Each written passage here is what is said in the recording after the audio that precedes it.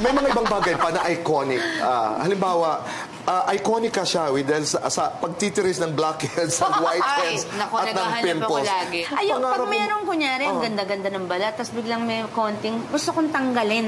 Ganon. Did you want to No, be a but dermatologist? When I was small kasi, my mommy, she liked being makalikot like that. So ako, talagang feeling ko, kailangan, uh nainis ako pag ganon. Okay.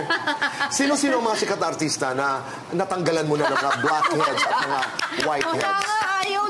Yung mga leading men na halimbawa wala kayong... Ma- Richard. si Richard. Tinanggalan mo na ng blackhead. Nung boyfriend ko, kung wala, ginagawan ko pa. Kasi ganun lang yun. Uh, uh, ganun lang siya. Ang bait-bait. Okay. There's another thing that's iconic about you. Your fascination with shoes. Yung shoes kasi, syempre, ginagamit mo yun sa work. Sa, sa, sa concert, yun nga yung una nakikita. mo. Although, after a while, it became siya. But you went through discrimination. The story, you went to I Vuitton. went to Louis Vuitton. In? in New York, di ba? They have the big Okay. stand. I was so interested in this particular uh, style of shoes na I wanted, pinag-ipunan ko talaga. I wanted to get it. So pagdating ko dun sa, um, sa pintuan pa lang, hindi na ako pinapasok. What? Oo. Sabi niya, ah, no, I don't think you have, we have your size. Tsaka nakaharang siya talaga dun. Oo. Actually, okay pa yon. Well, I, ako, I don't mind that naman eh. Ako May nga, ganon. to my face, sasabihin ako, I don't think you can afford it. Sa akin, parang, okay, if you don't want to to uh, entertain me, I'll find somebody else to ano. At papakita ko talaga sa kanya, bibilang ko yung tao na yun. Yun na lang ang comeback ko. No, that's a nice attitude. But Oo. that's inhuman.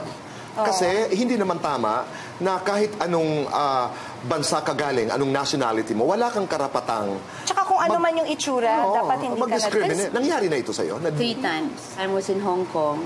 I entered the Cartier store. Very simple kasi, shirt lang Yeah, and ako jeans. I said, excuse me, I'm not finished yet. I'm doing ganyan, ganyan. You know, I, I was so angry. There was a nice, uh, another sales rep that was very nice. And I ended up buying things that I didn't really need because I was so angry. Ako galit ako pag Filipino inaape. Tsaka hindi lang naman ako yung nakaka-experience nun. And Marami.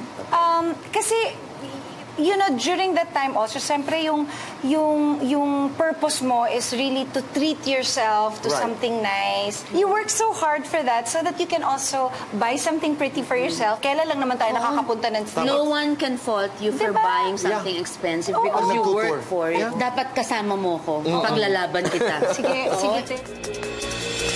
Ayon sa management ni Regine, nagpadala ng mga bulaklak ang Louis Vuitton sa Songbird in response to her revelation about her shopping experience at an LV store in New York.